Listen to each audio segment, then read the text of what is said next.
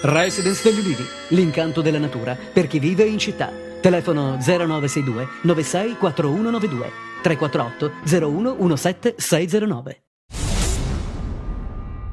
La Guardia di Finanza di Cosenza ha scoperto l'ennesima truffa realizzata ai danni dell'Unione Europea mediante finanziamenti illegittimamente ricevuti tramite la legge 488. Questa mattina sono stati effettuati arresti e sequestri in Calabria, Lazio, Piemonte e Liguria. Non si dà pace a Monia Marchio, la mamma della piccola Daniela Esposito, 15 mesi, di Petronà, deceduta nella notte tra mercoledì e giovedì nell'ospedale di Catanzaro. Secondo la famiglia, la bimba è arrivata in ospedale alle 14 ed è stata ricoverata dopo 8 ore e un medico che doveva essere reperibile quella notte si è presentato dopo due ore dalla chiamata. È stabile, la bambina non c'è pericolo di vita, all'una. Alle due ne arriva un altro. Ma mia figlia cosa c'ha? È in pericolo di vita. E allora perché mi dicono di no? Ne esce un altro, è in coma. Dopo un'altra ora alle tre è morta. Com'è possibile che in tre ore mia figlia è morta, si era stabile? Però noi con E non me, questo non me la facevano non ci vedere. Intanto l'azienda ospedaliera ha nominato una commissione d'inchiesta.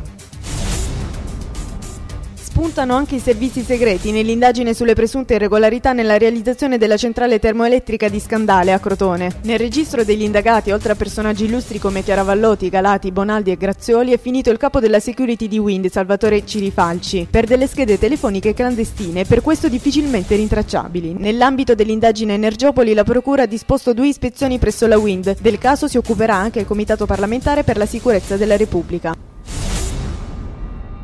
Sono cinque i vibonesi finiti nel mirino della magistratura per truffe su eBay. Avrebbero venduto online prodotti poi mai consegnati agli acquirenti. Il sostituto procuratore Santi Cutroneo ha già firmato cinque avvisi di conclusione delle indagini a quattro giovani e un ultra cinquantenne, tutti di Vibo. Nell'occasione il magistrato ha invitato coloro che subiscono degli inganni su internet a denunciare gli episodi, perché, come in questo caso, è possibile risalire ai truffatori.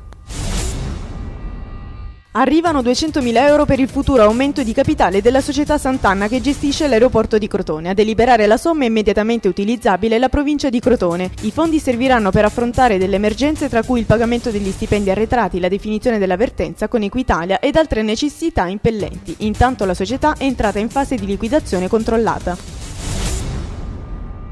L'Istituto Industriale Fermi di Fuscaldo nel Cosentino sbarcherà sulla Luna e su Marte. La scuola è stata infatti coinvolta nel progetto Cosmic che prevede missioni spaziali finalizzate ad estrarre e utilizzare risorse come ossigeno e azoto. Si tratta del primo progetto italiano finanziato dall'ASI nel settore dell'esplorazione spaziale, sviluppato dall'Università di Cagliari in collaborazione con il CNR. Il Museo dell'Andrangheta di Reggio Calabria è stato completato e sarà inaugurato il primo dicembre. La struttura è stata realizzata a Croce Valanidi, nella periferia sud della città, in una villa a tre piani confiscata alla criminalità organizzata. Il museo aprirà i battenti con una mostra fotografica dal titolo Silenzio e Memoria, curata da Adriana Sapone, per tutti coloro interessati ad approfondire il fenomeno dell'Andrangheta. Il 30 novembre prossimo la commissione Comafie diretta da Gaetano Pecorella sarà in Calabria fino al 3 dicembre per verificare l'andamento dei monitoraggi che si stanno effettuando sia in mare che sulla terraferma sulla presenza di scorie tossiche. Intanto lunedì inizieranno gli studi dei tecnici dell'ISPRA sul fiume Oliva da Iello Calabro.